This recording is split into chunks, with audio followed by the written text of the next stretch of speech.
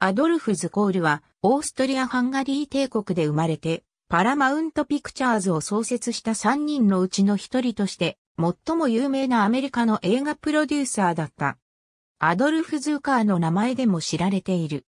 ズーカーは1913年アメリカ初の長編映画、ゼンダ城の虜を制作した。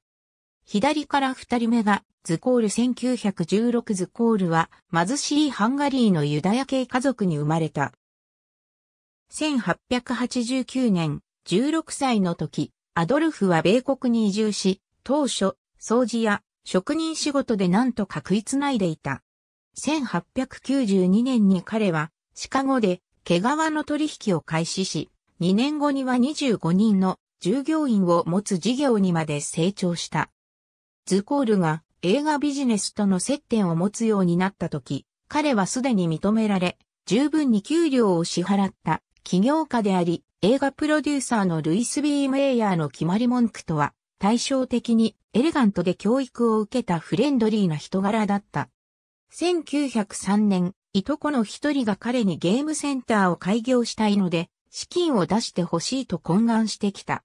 いとこは、そこでトーマス・エジソンの最新の発明である動画を見せ物にしたいと考えていた。ズコールはいとこにお金を出すだけでなく、彼と一緒に映画館を開き、すぐに最初のニコロデオンに投資したのである。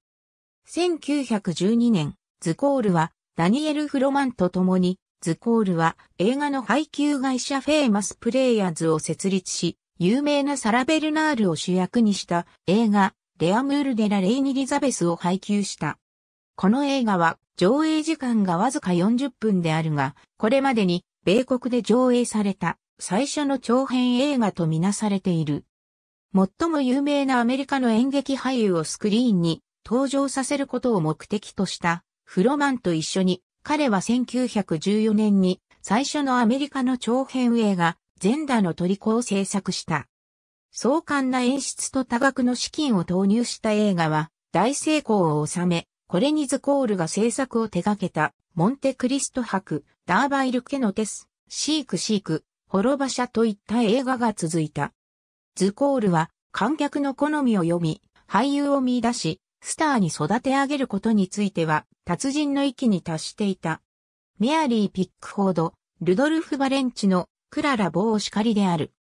ズコールは映画の制作、配給、上映を一つの会社で手掛けることにより、映画ビジネスに革命をもたらした。